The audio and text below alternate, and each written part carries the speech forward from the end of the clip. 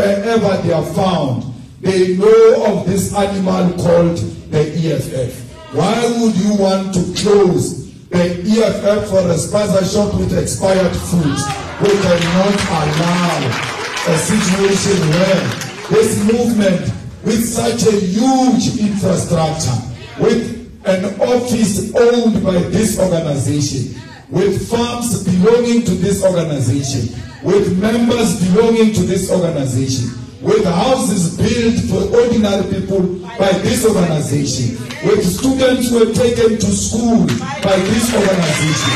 We woke up one morning and said to all those children, the organization you committed that when you grow up, you are going to vote for it is no more. We would have sold the future generation.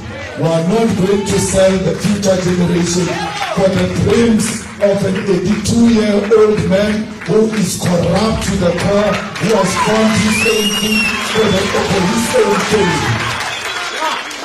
Comrades, we are going to fight corruption during Zuma, even after Zuma. Zuma is corrupt.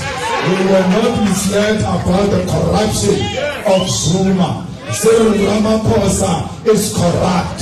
We were not misled about the corruption of Cyril Ramaphosa. And we don't just talk about fighting corruption. We will be on the streets on Tuesday going to fight Parapana in the next because we don't pay elections.